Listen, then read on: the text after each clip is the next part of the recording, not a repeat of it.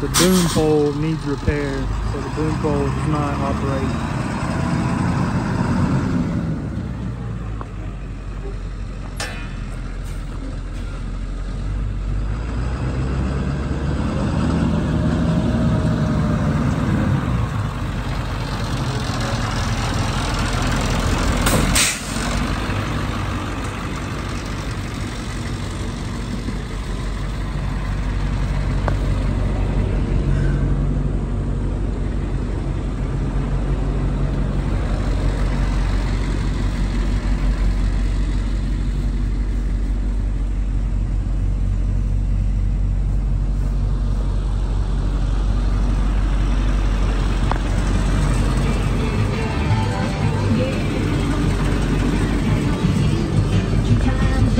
Thank you.